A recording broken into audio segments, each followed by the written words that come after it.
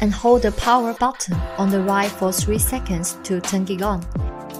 And slowly illuminate the moving logo lens with the imager hand and cable. You can clearly see the image on the monitor. Button in the lower left corner to view the settings.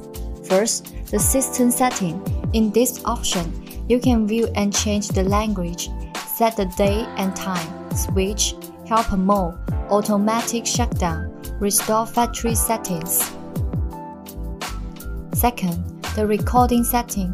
In this option, you can set to open the microphone, sound, rotation method, and time display. Third, camera color setting. Fourth, memory management.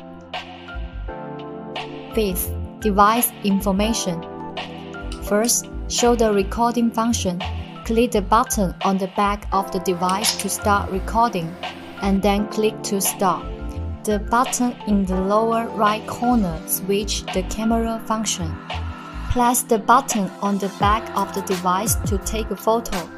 Then you can press the button in the upper right corner of the device to view albums and video recordings.